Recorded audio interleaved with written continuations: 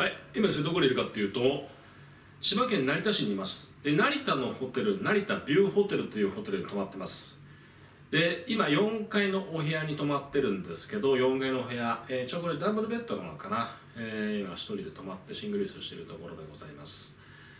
えー、成田ビューホテルに関してはまあ大きなホテルですね、えー部屋数も多くてレストランが4つあり温泉もあってですね、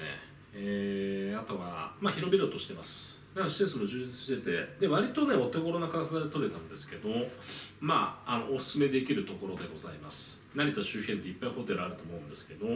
その中で成田ビューホテルね、えー割とお手頃価格であればおすすめできます。満足度高いです、まあ、さっき日本食屋行ってきたんですけどなかなか美味しかったです。でまあこんな感じでお部屋がこちらです。まあベッドも硬さもちょうどよく。でもちろん w i f i なんか無料で利用できます。そしてこれは東芝の液晶テレビ、ね、あとは冷蔵庫もあって。部屋自体はそんな大きくはないんですけどね、ええ。まあ快適ではあります。一応バスタブついてます。ただまあ一応温泉施設があるんで皆さんぜひね、えーせっかくなので温泉施設を利用してみるといいと思います。